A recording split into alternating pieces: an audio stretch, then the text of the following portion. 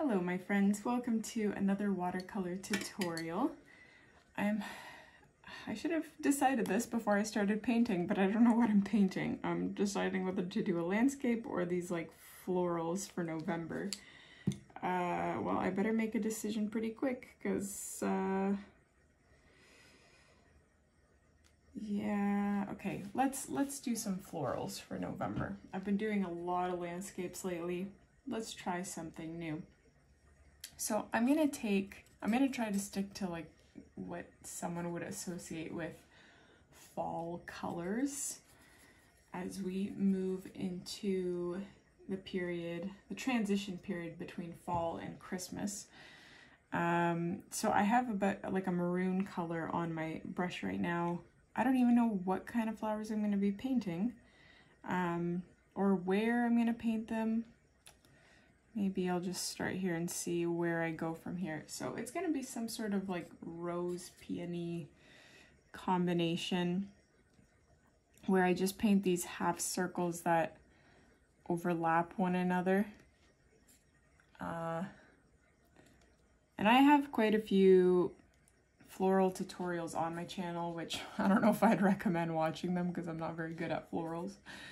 Uh, there are some watercolor artists on YouTube that, you know, they are amazing at flowers. Emma Lefebvre, Lefebvre, I'm not sure how to pronounce her name.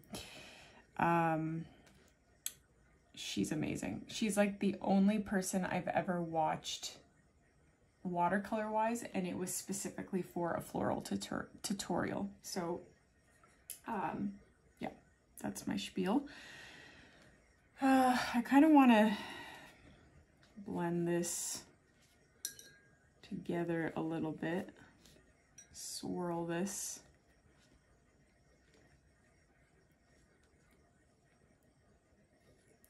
I don't know if you can hear like that kind of hush in the background, that, that murmur, but I have my baby monitor in front of me because my child is sleeping, so we'll see how long we can even, if we can even get through this tutorial. Um, I painted, if you recall back, I painted this, I mean, I painted it three hours ago in like at this time of filming, but uh, you will have seen this tutorial a few weeks back. It was the, um, the one with the pumpkins and the cup uh, and the blue blanket. So um, that one I filmed three hours ago and my baby woke up and I was like rushing to finish it. So let's hope that I can get through this one. So, so far this looks pretty bad, as expected, because I am really bad at florals. This is not a surprise. I'm still annoyed, but it's not surprising that this is looking bad. Um, maybe I took a bit of brown into the maroon and I'm gonna try to paint like a smaller version of this. Attached to it. So I just released a tutorial, like I'm painting this in May, um, but I, a tutorial that was released in May, and right now I mean, um, it was a tutorial where I really tried not to talk about random things while painting. I just stuck to the instructions of the tutorial. And you guys are so nice. You're like, ah, ignore the haters. And even one person said, I know you paint months in advance, so you won't see this for a while. Um, and I think that's so sweet. Like, you guys are awesome. Um, and to that person, sorry, I forget who it was that commented that, don't you worry. That streak of not talking while painting didn't last very long because I got bored real quick. Um, and yeah, you're right. the people, if you don't want to hear me talk about random things, mute the camera um, or go, you know, find, there's so many tutorials on YouTube. I'm sure you can find one of somebody that just sticks to the instructions and does not add anything extra. Uh, okay, where are we with this? I want to write, okay, before I proceed with the flowers, which I'm really not loving, I do want to just write November.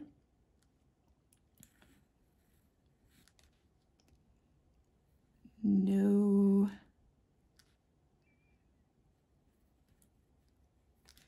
November.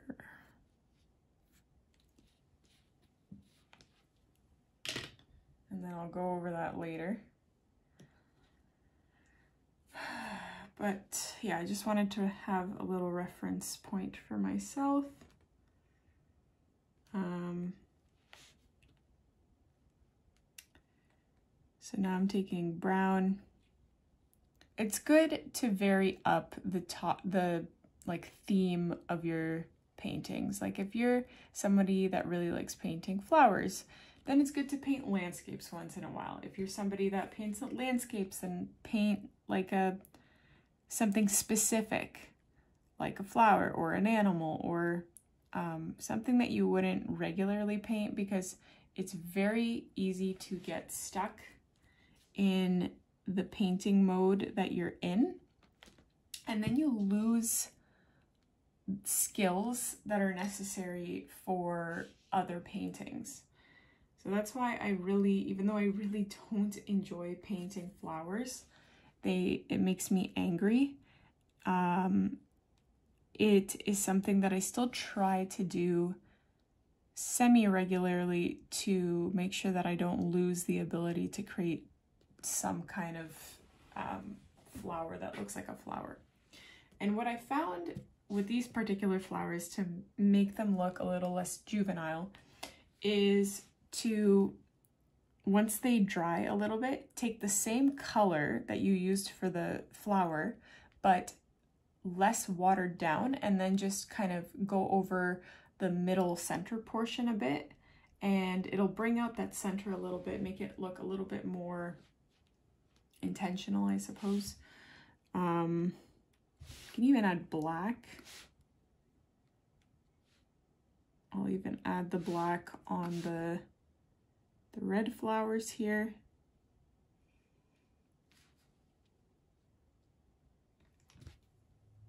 Although that does not look that great. Oh boy.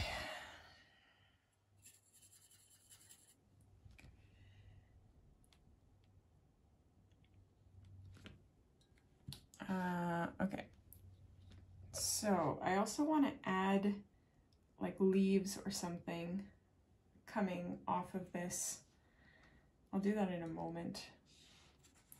I have this obsessive compulsive tendency. I'm pretty sure this is like an actual disorder. I looked it up. It has a very long name. I cannot stop pulling the hair out of my eyebrows.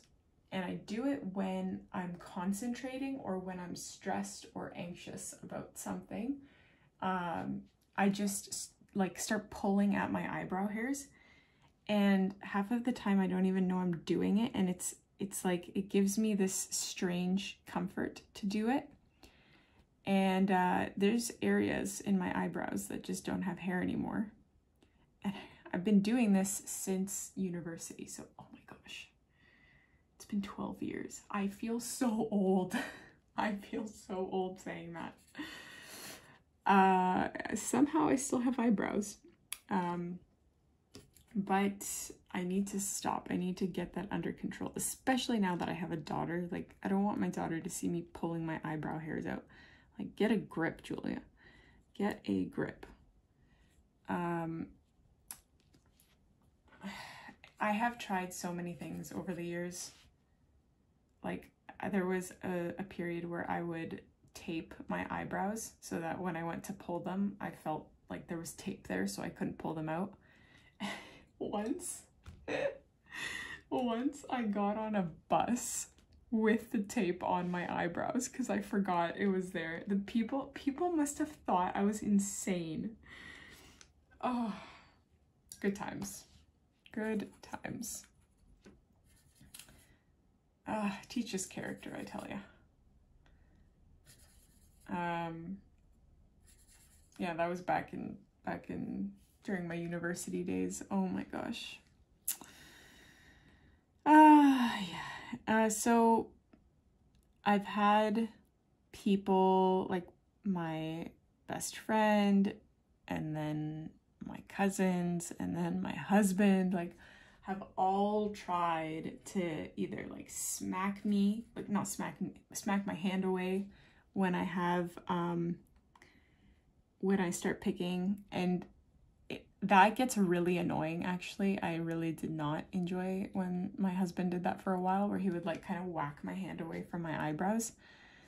Um I asked him to by the way before people start saying things. and uh yeah, I didn't I didn't like that. That was not a solution. It just made me angrier because once I was aware that I was picking my eyebrows, there's sometimes that I just want to pick my eyebrows because it gives me a bit of comfort. Um, it's such a weird habit. I don't know how it started, how that even came to be, but I gotta stop doing that. I'm even doing that while painting right now. I'm not stressed. Well, maybe I'm a little stressed because I keep thinking my daughter's gonna wake up. Um,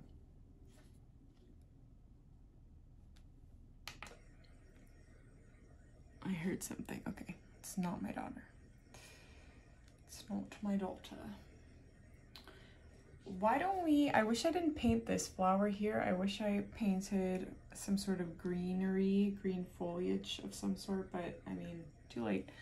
So I am now going to take green and we are, I'm gonna add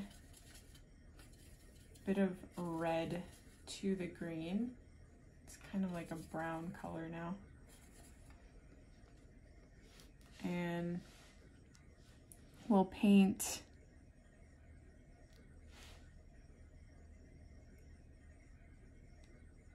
the foliage. Ooh, usually painting leaves this way does not work out for me, but for some reason today is a good day. My whole house is shaking.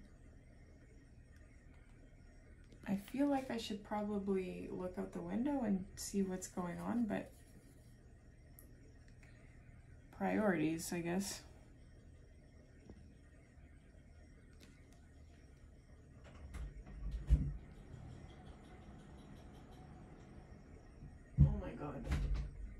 That was not my house. I opened the door. Oh, guys. I am my own worst enemy. It wasn't the house shaking. I have my own video on in the background in another room. And it was the sound of me tapping my brush against another brush. And it was so loud that I could hear it in the bathroom where I film and then I looked at the baby monitor and my baby woke up, but I think she put herself back to sleep. So we might be in the clear.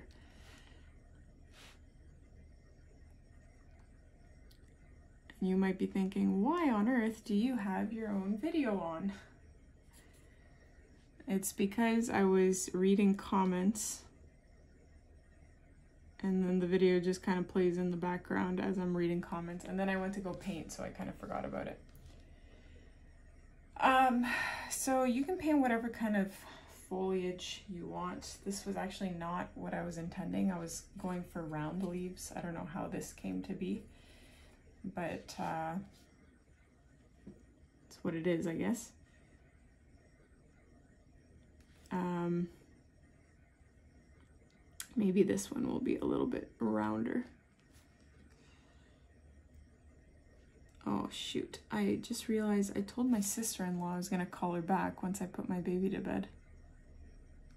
And then I got distracted.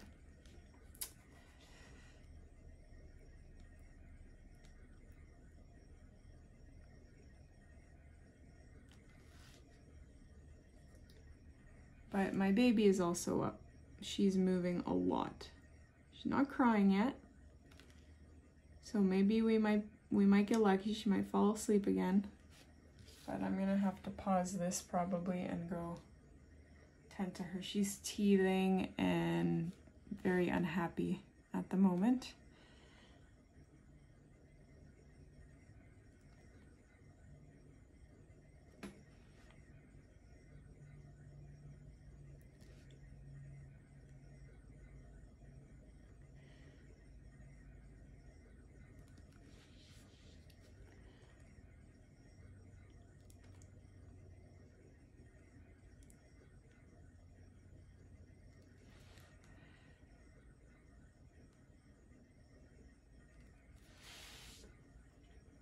I do want to add some sort of something else to this. Because it's not meeting my standards, but flowers rarely do because I'm so bad at them. Um, hmm.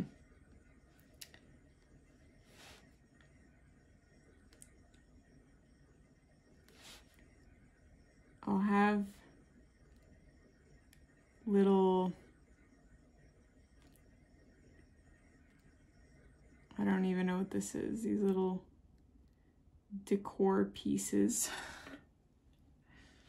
coming out. Like, you know, baby's breath in flower bouquets? What, oh, that reminds me, I need to order a flower bouquet for my mom for Mother's Day. Costco had some beautiful bouquets at very nice, friendly prices. But yeah, babies, this is kind of similar to baby's breath, or at least that's the intention of it, and it definitely adds to the painting, I think. It kind of breaks up this the monotony of all these flowers, um, or the clusters of flowers.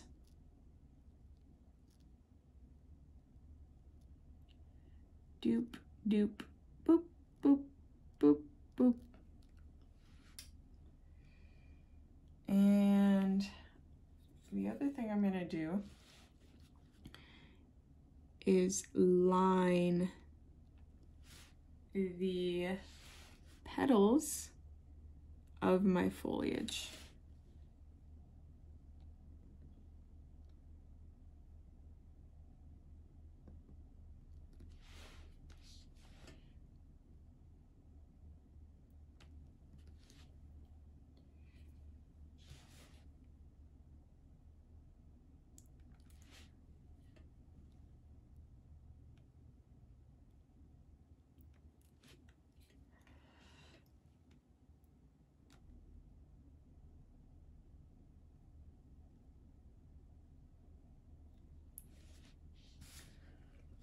Because this will give us like a two layered contrast. There is definitely something going on outside. There's like this really loud rumble. And I'm very curious.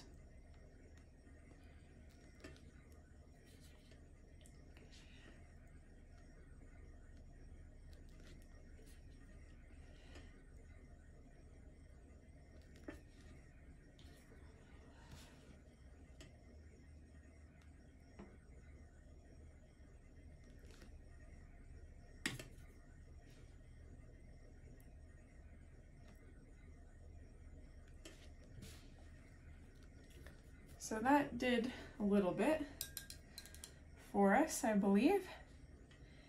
Now, I have these beautiful metallic colors here, which I'm tempted to use. So I'm gonna take a similar metallic color as to what I used.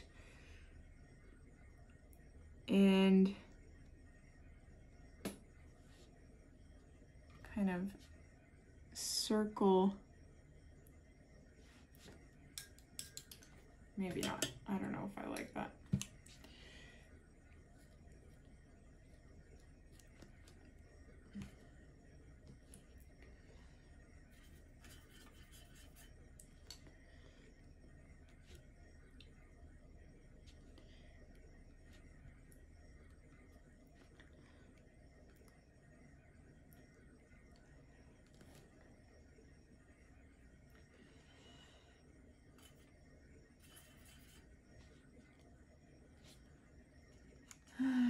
So now that these flowers have dried, the centers are not as uh, dark anymore. So I am going in with a bit of black to make them a bit darker.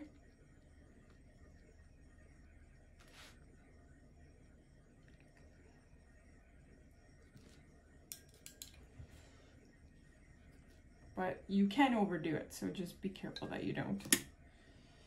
And I'm gonna go in with, uh, I'm gonna take this neon pink that I have and tap that on. Ah, actually, I don't know if I like that. That does not really work with the November theme, so scratch that idea. So now what we can do is paint the November, like the word November, or you can write it. I often write it with a uh, with a marker or a pen or whatever. I have this, I'm trying my hand at calligraphy with this uh,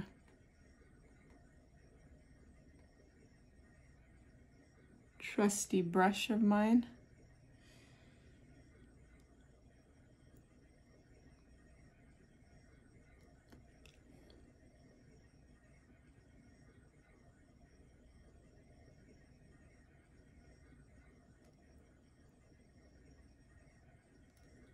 Oh, I wish I didn't do that. That does not look too good.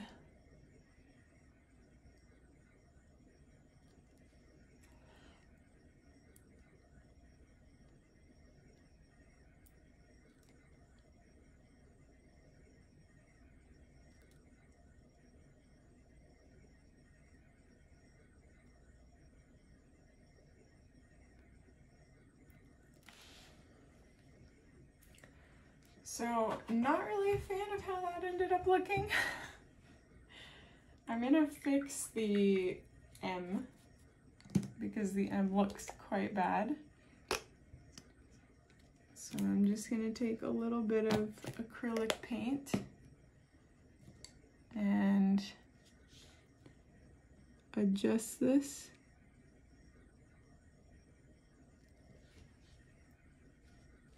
It's a bit better, but uh, I don't like how that turned out.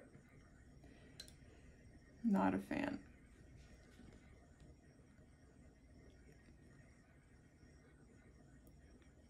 It's also very grainy because I didn't have enough uh, water on my brush when I did this.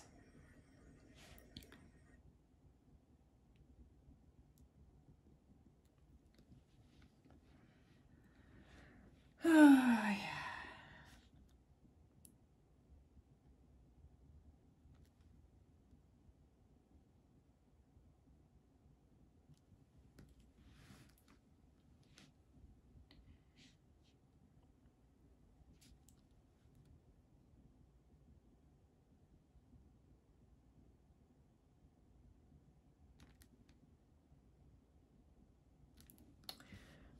I'm not gonna tamper with that anymore. I'm gonna leave it as it is.